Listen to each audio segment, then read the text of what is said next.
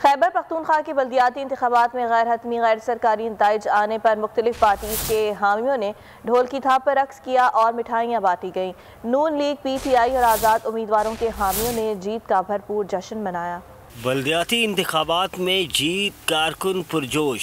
ढोल की थाप पर जश्न के साथ खूब मिठाइयाँ बांटी गईं। हरीपुर की तहसील खानपुर में मुस्लिम लीग नून के उम्मीदवार राजा हारून सिकंदर ने गैर हतमी, गैर सरकारी नतज के मुताबिक मुतद पोलिंग स्टेशनों पर कामयाबी हासिल की। खानपुर में राजा हारून सिकंदर के डेरे पर कारकुनान का हजूम, खूब जश्न मनाया। तहसील हरीपुर से इलेक्शन लड़ने वाले आज़ाद उम्मीदवार समीउल्ला खान के डेरे पर भी जश्न का समा रहा। समीउल्ला खान के डेरे पर ढोल की थाप पर कारकुनों ने खूब रक्स किया और मिठाइयों से लुत्फानंदोज हुए।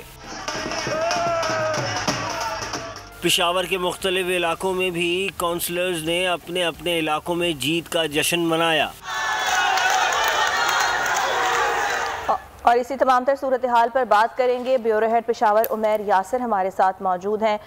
उमेर गैर हतमी गैर सरकारी नतज आने का सिलसिला जारी है और हुक्मरान जमात जीत रही है। अब तक हम ये देख रहे हैं मजमू मजमू तौर पर कल जो माहौल रहा आ, क्या तासुर गया उससे? जी मजमू तौर पर जो माहौल रहा है वो तो देखा जाए तो पुरामन ही रहा है। हम्म। सिवाय जो जिला बाजौर में एक खुदकुश हमला हुआ है और उसके अलावा करक और लकी नौरत में फायरिंग के वाकत हुए हैं, जिसमें कुछ अफराद जहाँ भाग भी हुए हैं। मजमू तौर पर देखा जाए तो पिशावर समेत जो सत्रह अजला में बलदादी इंतबात का अमल हुआ है तो वो एक खुशाइन है, क्योंकि आवाम की दिलचस्पी इसमें काफ़ी ज़्यादा थी क्योंकि उन्हें भी बहुत सारा के मसाइल का सामना था, जो इख्तियार की निजी सतह पर मुंतकिल होने से ही मसाइल हल हो सकते हैं तो अब आवाम की रसाई में वो लोग होंगे जो जिनको उन्होंने मुंतखब किया होगा और वो अपने मसाइल के हल के लिए आसानी से उन लोगों से रबता भी कर सकेंगे इसलिए नतज के हवाले से देखा जाए तो जो गिनती का अमल शुरू हुआ हाँ। और उसके बाद नतज आने का सिलसिला तकरीबन दो से तीन घंटे तक एक रब्त के साथ जारी रहा लेकिन हाँ। उसके बाद हैरत अंगेज तौर पर नतज आने का सिलसिला जिला पिशावर की बात करें हाँ। तो सिटी सिटी मेयर के अलावा जो छह तहसीलें थी उनके नतज भी अभी तक मुकम्मल तौर पे ठीक है उमेर अभी मुकम्मल तौर पर नतज सामने नहीं आए हैं सरकारी तौर पर ही जब ऐलान किया जाएगा तो पता चलेगा कि ज़्यादातर जो अजला हैं वहाँ से किसने मैदान मारा है। ये बताएगा कि अब जो जमातें पीछे रह गई हैं क्या धांधली का शोर भी सुनाई दे रहा है इस वक्त? जी बिल्कुल धांधली का शोर इसलिए भी सुनाई दे रहा है कि जो नतज का एक सिलसिला शुरू हुआ था छह बजे के बाद से हाँ। वो अचानक आके दो तीन घंटे बाद रुक गया और या चार घंटे बाद वो रुक गया। मीडिया के लोग भी इलेक्शन कमीशन से बार बार ये सवाल करते रहे कि ये नतज आने का सिलसिला क्यों रुका है? लेकिन इलेक्शन कमीशन इस बारे में वाजह अभी तक कोई जवाब नहीं दे सका।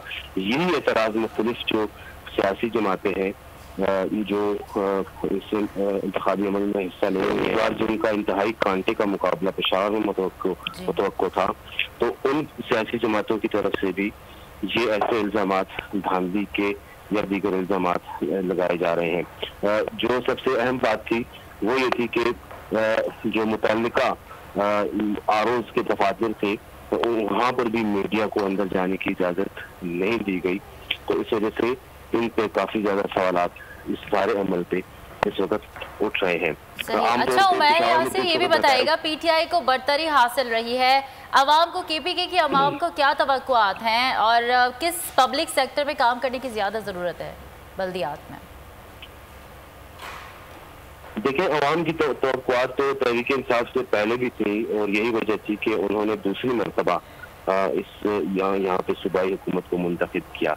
लेकिन मज़बूत तौर पर पंजाब वफाकी हुकूमत की जानब से जो कारकर्दगी सामने आई है, उससे न सिर्फ़ पख्तूनख्वा के अवाम बल्कि और सूबों के अवाम भी उससे मुतासर हुए खसूस तहरीक इंसाफ के लोगों ने बहुत ज़्यादा बड़े पैमाने पर जो मैंडेट दिया था। तो अब लोगों की ये तो भी है कि उन जो मुख्तलिफ़ शोबे हैं खसूस तालीम का शोबा है खसूस जो रोज़मर्रा के उमूर हैं जो बल्दियात के हवाले से हैं जो आवाम को दरपेश होते हैं, सेहत के मसाइल दरपेश होते हैं तो वो अवामी तो कर रहे हैं कि ये इन बल्दियाती नुमाइंदों के ज़रिए उनके ये मसाइल भी हल होंगे। लेकिन अब आने वाला वक्त ही इस चीज़ को साबित करेगा। फ़िलहाल तो ये इंतबी अमल को मुतनाज़ा बनाने की कोशिश हो रही है और मुख्तलिफ़ आ रहे हैं।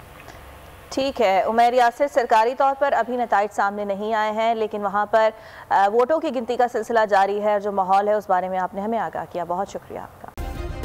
सब्सक्राइब करें और बेल दबाएँ ताकि कोई खबर रह न जाए।